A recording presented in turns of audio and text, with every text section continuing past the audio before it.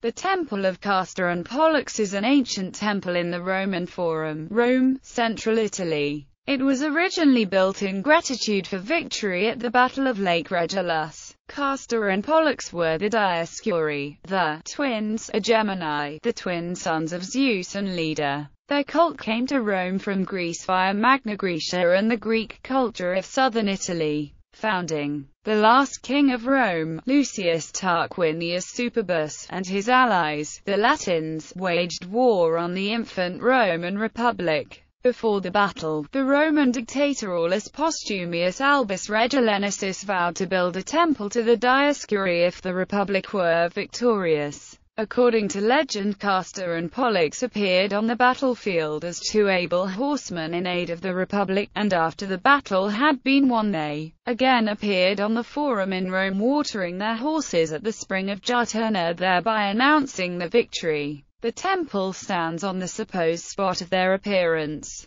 One of Postumius' sons was elected Duumvir in order to dedicate the temple on 15 July 484 BC. History in Republican times the temple served as a meeting place for the Roman Senate, and from the middle of the 2nd century BC the front of the podium served as a speaker's platform. During the imperial period the temple housed the office for weights and measures, and was a depository for the state treasury. Gaius Verres again restored this second temple in 73 BC. In 14 BC a fire that ravaged major parts of the Forum destroyed the temple, and Tiberius, the son of Augustus by a previous marriage of Livia and the eventual heir to the throne, rebuilt it. Tiberius a temple was dedicated in a 6 AD.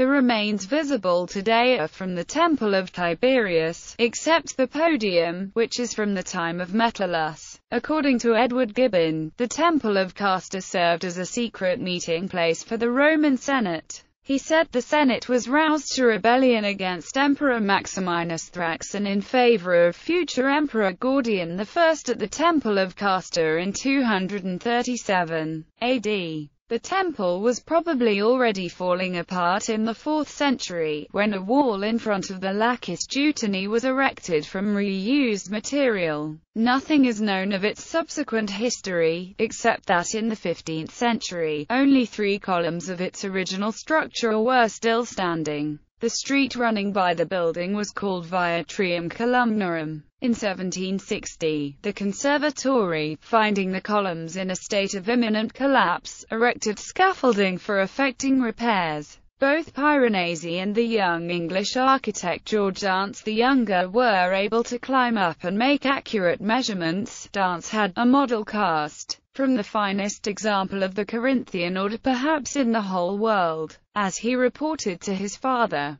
Today the podium survives without the facing, as do the three columns and a piece of the entablature, one of the most famous features in the Forum. Architecture The octastyle temple was peripteral, with eight Corinthian columns at the short sides and eleven on the long sides. There was a single cella paved with mosaics. The podium measures 32 meters times 49.5 meters and 7 meters in height. The building was constructed in opus caementicium and originally covered with slabs of tuff which were later removed. According to ancient sources, the temple had a single central stairway to access the podium, but excavations have identified two side stairs. Archaeology the temple complex was excavated and studied between 1983 and 1989 by a joint archaeological mission of the Nordic Academies in Rome, led by Inger Nielsen and B. Poulsen. Gallery 1866 depiction of the Forum Romanum. Another view of the three columns of the Temple of Castor and Pollux. The Temple of Castor and Pollux with the Temple of Vesta to the left.